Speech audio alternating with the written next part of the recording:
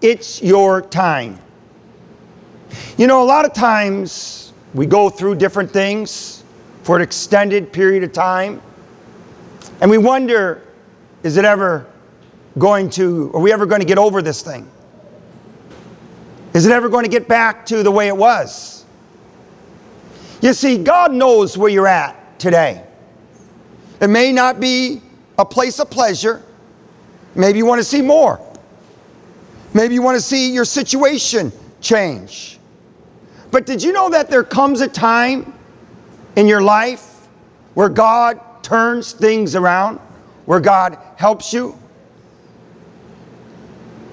Do you want to have her take her, let them go to the nursery if you, if, if, if they, if, no, no, no, I didn't say him. No, no, I didn't say that. I didn't say, no, I, no, he's fine. I, feel free to show them if they need a place. But, um, no, your, your little one, no, it's gone. You know what? It's good to see you. you get, they make it fall from there. Why don't someone help them to the nursery? It's good to see your, hey, you got an apartment, didn't you? So you're moving in. It was good to see your little one uh, here. God bless you. Thank you. And, um, but our message is it's your time. You know, there comes a time at the end of the day where God wants to give you a breakthrough. God wants to help you. There comes a time at the end of the day where God wants to speak to you. You know, I was reading in the book of Jeremiah, where Jeremiah is known as a prophet that spoke to situations and, and spoke to things that were undesirable conditions, but God used them. The, the, the, you might have heard of Jeremiah 29 11. Many of us have. For I know the plans I have for you, says the Lord. They're not plans to harm you, but they're plans to prosper you, they're plans to help you. But did you know that this verse has some context? Did you know that this verse is actually a letter? Did you know that this verse comes from uh, a major prophet in the scriptures that, um, that uh, many times we overlook? Listen, I want to read, first of all, I want to talk a little bit about the context. Here's what was happening the children of Israel was going through a difficult time. They were raised to follow God, they were raised to do God's will. But after a while, they kind of fell out. They kind of went their own way, they kind of did their own thing. Then after a while, what happened is, is, is that, that they kind of uh, got out of touch with God. And God wanted to help them get back to him.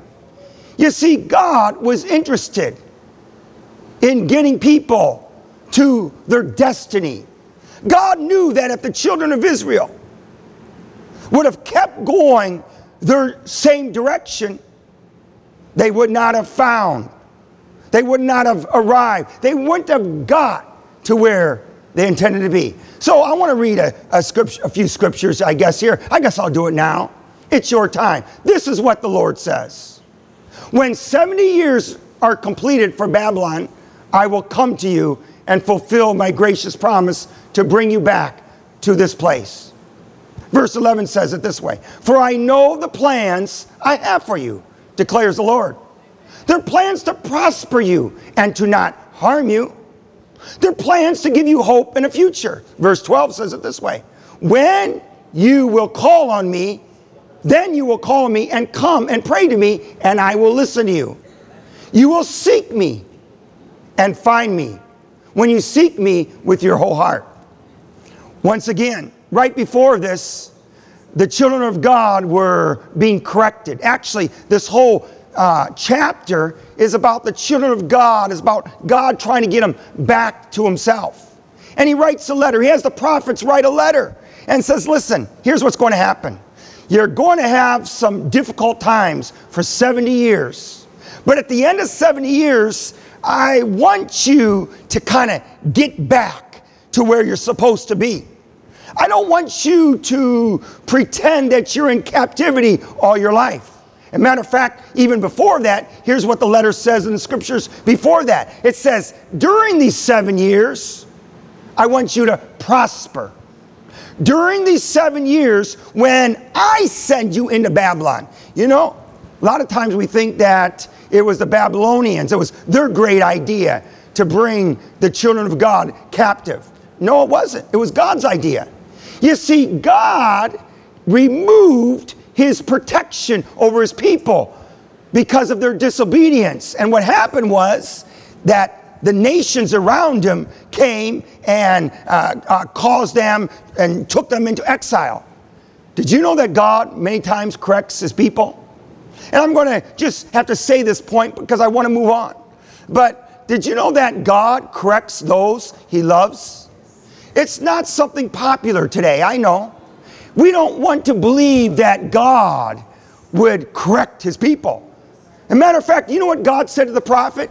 He said, Listen, my people are going to try to get you to say it's only going to last 20 years, 10 years. But he says, Don't believe the pastors or the prophets. They're lying to you. That's what he said in the scripture. He says, Listen, in the verses before this, he says, You're not going to get out of it. He says, Listen, you've wandered away from me.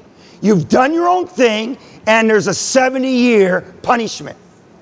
Now, once again, none of us like that. None of us even want to believe that, but it's true. As a matter of fact, that's why it's so important to live right today, because you don't want to have to go into exile. What do you mean by that? You don't want to have to learn the hard way, do you? We've learned the hard way enough. I've learned the hard way enough. I've decided that I'm tired of being disciplined by the Lord. I'm a child of God. You're a child of God. And our Father disciplines us. Our Father corrects us. Why? Because when we go astray, we're going to miss what God has for us. We're going to go away. God said, Listen, I'm going to correct you for a time, but I'm going to correct you because I love you and I'm going to get you back at the end of the day, back to where you need to be. So listen, God is not a, a mean God.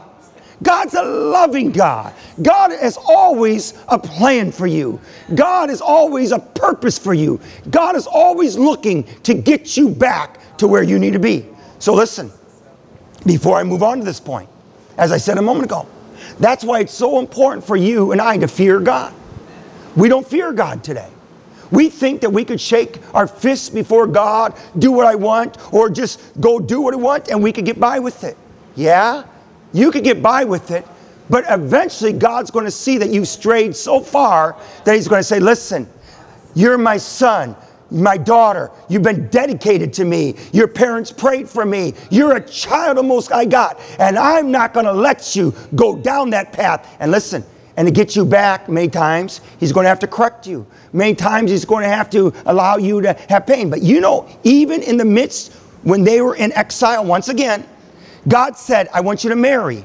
I want you to build houses. The verses before this. I want you to pray for those people that are lording over you, the Babylonians, because if they do well, if the Babylonians do well, the ones that are over you, then that means you do well. So he says, pray for the city you're in. And you know what happened? The, the Israelites, at every time that they were in bondage, even in, when the Pharaoh had them, they multiplied in number. God rescued them. Listen, God is always going to rescue his people because he loves you. You know, at the end of the day, you know about the Babylonians, and, and I am going to move on. I've said it now three times, but did you know that after this came to an end, God punished the Babylonians for hurting his people. It was God's idea to bring them into exile, for the Babylonians to come and to bring his correction. God uses our enemies to bring correction in our life. He does. God uses things that we don't like. That's why he says we've got to submit to government We don't like it to get the speeding ticket, but we don't like it. To, but God says we're supposed to because God uses those in authority. Okay, now I got to get on. None of us like that, of course, but let's move on here. It's your time. What do you mean by that, though, Pastor? You see, this was a letter, and God said all this in a letter, but then He said, There's coming a time where 70 years is up. And that's what we're talking about this morning. we're talking about the good stuff. He says, listen, you could talk all you want, but it's going to be 70 years. But you know, I read in several commentaries, it really wasn't actually seven years. They had good time, uh, uh, state good time. Some of us know, me and Bob know about, uh, and they had federal good time. No, we don't. Uh, but you know what? It was actually, it was, uh, some of you didn't get that. Don't you? We don't want you to get it. It was, it was 58 years, actually, they say, many of them say, that the scholars or commentaries, that they were 58 years. But he says you could do whatever you want. You could jump up and down all you want. It's going to be this amount of time. But here's what happens. He says, this is what, when 70 years are completed for Babylon, I will come to you. And that's what God is saying to you today. God is visiting you, and some of you don't know it. Some of you are too locked up in yesterday, the pain of yesterday, you're not willing to go on. You're not willing to dream again. You're not willing to say that, God, you're not willing to step up to the, you're not willing to date again. Whoa, now I'm hitting home. You're not willing to fill out another application because you know what? It hasn't worked out yesterday. You see, yesterday, it was good. God blessed you in this period of time. God was with you. You got a promotion. You even saved some money. God worked with you. God began to cleanse you. God began to work in you as tough times. Some of you have been through some tough times in your life. You know what I'm talking about. You've been in that wilderness experience, but now you're coming out of it. Now is your time. Could you imagine in this verse, and this is the verse talking about the end of the letter? Could you imagine God comes to him and says, Now, man, I want to get you back to where you need to be? Could you imagine the children of God saying, No, I'm happy here. I became the mayor. I like it in Babylon. I, it's, it's pretty good here. You know, I built a house. I'm running the corner store. That's all good. But God had greater plans for them. God had some new things He wanted to do. And God wanted to get them. And that's where these scriptures are. Okay, what is the, when 70 years are completed? Here's what I want to say Your sentence has been completed. Oh, I, I know, but this is the scripture, this is Old Testament. But some of you are living like, like you're still being punished for something that happened yesterday. No, this wasn't even punishment. This was God trying to refine them. But then there's a completion. Just like there's 70 years, there's a coming to the end of those 70 years. And that's what God was saying. I will come to you and fulfill my gracious promise to bring you back to these places. There's just three quick things that I saw here. There was a set time. We talked about that. There was a set time no matter how you look at it. And there's a set time. Some, sometimes we call it college. For some, it's four years. Going to college, you feel like it's your Babylon. For some, it's, it's a period of getting to where you work up the ladder, whatever it may be in your company. You're trying to save some money. There's set periods of times we just can't get over. Sometimes you got to accept it. And that's what Jeremiah told him. You got to accept it, man. I don't care if they preach all these sermons that you're going to get out of it tomorrow. It's not going to happen. It's going to be a set period of time. But the same way is there's coming to an end of that. And that's what, once again, that he was trying to say. There was a set period of time. Also, there was a set promise.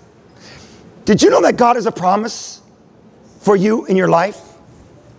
Just because you've been wandering for a few years doesn't mean that God forgot about that promise in your life.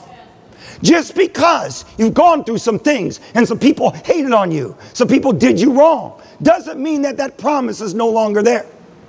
Just because you went through a valley, it doesn't mean that God has forgot about that promise when you are dedicated to the Lord, when you've given your life to the Lord. You see, listen, God has you in the palm of his hand.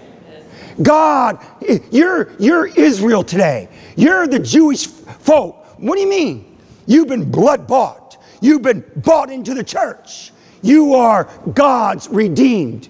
You are the nation of Israel today, the modern day. That's who you are. Who are these people? Who, are, who is Israel today? Is it the Jewish folks? Yeah, that's there's true that they're, they're there. I believe that. But you know who the real people of God are? Anyone who confesses Jesus Christ is Lord and have their sins washed. Listen, I honor the Jewish people, they're great people. But you know, you know who, and they and I believe that there's a favor on them. I believe there's a touch of God. It's scriptural. As a matter of fact, it says that we're supposed to be nice to them. And if and if they're blessed, that the world gets blessed. I really believe that. But did you know that real people of God, though, though they're the people of God, are people that confesses that Jesus Lord, you've done that. Or if, if not, after the service, we're going to give you an opportunity. But listen, so that means you have the blessing of God in your life. That means you have the favor of God in your life. What do you mean that? You have the promise. You know what? I believe in the Abrahamic promise. Did you know that promise is for you? What do you mean? I just thought it was for Israel. Baloney. It's for you. What do you mean, Pastor? Because God has chosen. You are, Paul said it, you are the chosen generation, a royal priesthood. And some of you are living underneath that covenant this morning because you've been corrected. You felt like God has looked away from you. You've been in your Babylon. Things haven't gone like you should have. But God wants you to understand that that promise is still there. What do you mean by that? I know the plans I have for you, declares the Lord. They're plans to prosper you and to not harm you, plans to give you a hope and a future. I said a moment ago, there is a set promise that God has for you. And the devil is here so often trying to discourage you to think that that promise is invalid today. Listen, if they would have redreamed the dreams all they wanted during that 70 years, it may not have happened the way they thought. They could have dreamt some dreams that sure it would have gone good for them while they're there. But let's say they had a dream that they wanted to build a home in their motherland or whatever it may be, or, or, or, or get back to there. It wasn't going to happen. But in the same token, at one point, God says, Now pray the prayer again. It is going to happen. And here's what I want to say to you this morning Are you willing to take God at His word and pray that prayer again? Are you willing to say, God, use me? God, I love you. Here's what he says Then you will call on me and come and pray to me, and I will listen to you. Does that mean that God didn't listen to them before when they felt like they were out of touch, out of tune? Some of you, we know how that is. We go through seasons of dry periods. But no, that's not what happened. God says, now listen, if you call on me this time, I'm going to hear you and I'm going to answer it. Can you ask God for that thing one more time? God, give me that wife. Give me that husband you promised me. God, take away that. No, no, no, we're not going to do take away husbands away. Stop there. Because God was going to answer your prayer. He, your prayers are anointed now. God, give me that job. Oh, Pastor, I prayed that so many times. Yeah, but that was the 69th year. Now, there's a new anointing over your life. There's a new favor over your life. You see, they could have, Jesus, when he was born, he was born. They waited 400 years. They could have talked all about it at 300 years, but it wasn't going to happen. Listen, then there was 400 years of silence, and Jesus was born. Here's what I wanted to say It's your time, my brother, my sister. God has you here this morning because He wants to speak to you. God wants you to know that it's your time, that He wants you to call upon Him again, that He wants you to ask Him again.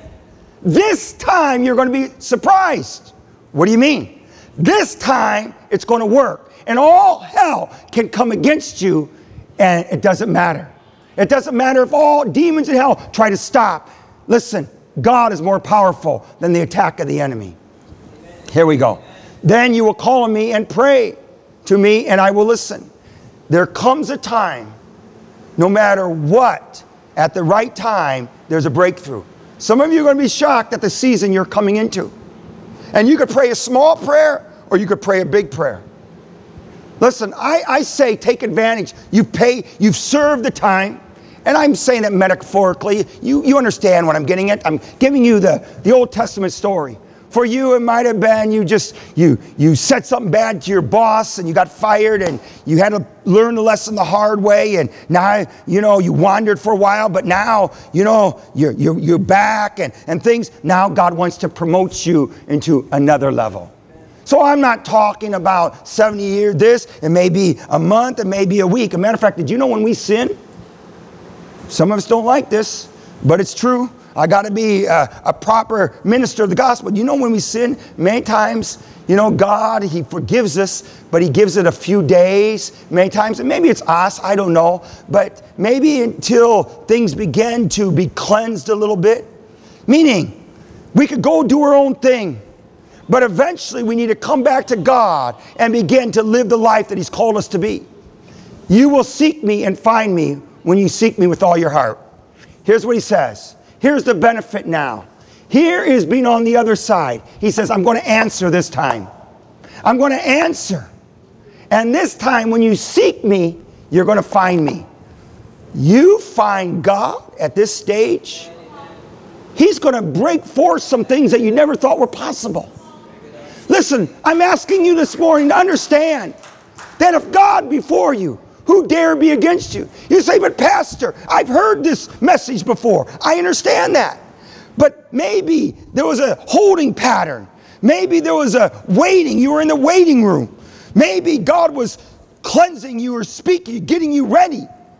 But now you're entering a season where God wants to get you there, to bring you back. And it would be so easy for you to live your life in those things of yesterday, of hopelessness, of despair, of being ruled by other things. You see, God always wanted you to be dominant. What do you mean, Pastor? That's what that's right. God always wanted his children to be dominant. He wanted the people of God to be people that ruled and reigned. And quickly as we close here, it's your time. What do you mean? There was a set plan, there was a set purpose. And all I know is everything you've gone through in the past, the, the hardship, the valley, everything you've gone through had its purpose to it. And now, it's not something just doing your time or, or, or, or that job. No, no, no. It's a platform that God is building on that God is somehow getting it. You know, the other day I was, I was driving my car, and you know, I'm getting a little older uh, these days, and I found myself, you know, it seems like I drive slower these days, unless I'm in a hurry. And, and, I'm there and I'm, I'm with John David. I remember my own days when I got a ticket here, I got a ticket there, a speeding ticket, trying to rush here, leaving late. Now, I, I found myself coming back from Home Depot going 10 miles an hour. If you're behind me, you, yeah, you were honk, honking your horn. And you know, I was enjoying it. I was thinking, why? Why, why do those stupid same things? Why not learn from the past and be a little smarter? Okay, then when they yelled at me and got behind me and I got an argument, no, that's not true. But here's what I want to say God uses those things that we've learned from to somehow project and get us. Your pain is something that God is using to open up a new door for you. What you've gone through is something that God is going to use to get you to where you need to be. And I'm asking you to believe again. I'm asking you to somehow understand I know the plans. He says, listen, I understand, but these verses were after the 70 years, and they were saying it's going to come to an end. You say, Pastor, but I feel like I'm only in the three quarters, I'm, I'm still in it, so this is not applicable to me. Well, if that's you feel that this morning, okay. But as I said a moment ago, let's say you say, well, I'm still being corrected. I'm still learning of God and I'm, I'm, I'm not there at that breakthrough. But you can look forward to you're, you're going to get there. So stay in it, the fire. Keep learning. Keep, keep coming to church. Keep praying. And you know what God says? He says, I'm going to bless you even in the midst of the storm. He says, I'm going to bless you where you're at. He says, so he says, yes, it's going to be a greater blessing over here. But even if you're in the midst of an unpleasant season, I'm still going to do some great things in your life. You're going to get your degree. You're going to have some breakthrough. I'm going to train you. And then there is a set period of time. And I want to say that there's coming in your life where you're at there today, where, where all the enemy is going to try to hold you back. They tried to hold Jesus back from being born, and he was born, and the earth has never been the same. Here's what I'm going to say the enemy is not going to be able to hold back what God shoots forth in your life. The enemy is going to try, but there's going to be such a breakthrough anointing. And it's not that you deserve it, but you paid the price. You, you, you came to church. You try to be nice to that person. Okay, then the next week you weren't that nice. But you try to live right. You try to get your life in order. You try to serve God again. And then you cross your Rubicon. You and now God everything is preparation for the advancement that he has for you. You will seek me and find me when you seek me with all your heart. You say, "Hey, but how's this going to happen?" Here's what I want to say. Do it wholeheartedly. Do it wholeheartedly. He says, when you seek me with all your heart, you're going to find me. Here's what I want to say. If you want to find God's best for you, don't be melancholy about it. Don't say, oh, I'm going to go to the bar one day and maybe come to church every six weeks, or, or I'm going to do that. Or you hear what I'm saying? Somehow have a heart that you know that God is the right way. You're tired of playing around with this. You're tired of playing. You're tired of doing time stupidly. You've wasted enough. I don't know. I've wasted uh, enough years of my life. I, I, I don't want the devil to be a part of anything. I want all God in it. Why? Because this is the place to live. This is the place for the blessing and bountiful of God. I want doors to open on Monday. Then I want another door to open Tuesday. Then Wednesday come around, I want a miracle. Listen, God can do it for you. God, can, listen, God is all powerful. God is, listen, if not you, who? And I'm done. Listen, if not you, who? Some Jewish, and I'm, oh, I, I, you, I, what I'm saying, you are the people of God. If not you, God is interested in blessing you. If not you own that business, who? If not you being the next one, who? If not this little kid here that I had, who? I remember when he was born. Listen, I'm believing that he's going to be, I'm going to work for him one day. No. Uh, will he hire me? No. Are you with me? I want you to dream big. Know that God loves you. Your past is over. God has a plan for you. I want you to go forward. When you go out of here, be looking for those miracles. Be looking for what He has for you. Close your eyes. Father, we love you. We love you. We honor you. We thank you. God, we're so very thankful for you being our God and our Savior. I'm looking, Lord, at a chosen generation, a royal priesthood. Bless your people, we pray. We'll be dismissed just in two minutes, but listen, is there someone here that would say, I need God, I need His help? Is there someone here that says, Hey, Pastor, I feel like I'm still wandering a little bit and I need God to help me? If that's you, if you need God's help, raise your hand. No one looking around. Raise your hand. God bless you. God bless you. God bless you. Let's pray this prayer together, can we? Dear Jesus, I love you. I need you. Please forgive me. Come into my life. Forgive me. In Jesus' name. Amen. Bless your people, we pray. Bless the fellowship. God, bless the lunch. Lord, give your people a great week. Help them, we pray. Work in their life. In Jesus' name. Let's all stand together for the benediction.